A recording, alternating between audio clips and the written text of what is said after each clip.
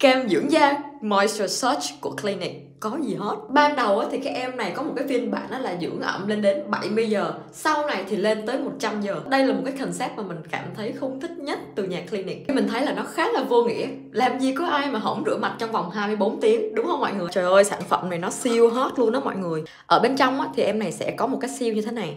Cùng mở em nó ra với mặt nha. Đây là chất của em nó bên trong. Yeah, Clinic. Cảm thấy là Clinic họ có một cái rất là hay là những cái sản phẩm của họ không có chứa hương liệu nhưng mà cái mùi nó không hề bị nhàm chán đó mọi người. Đây là cái chất của em nó.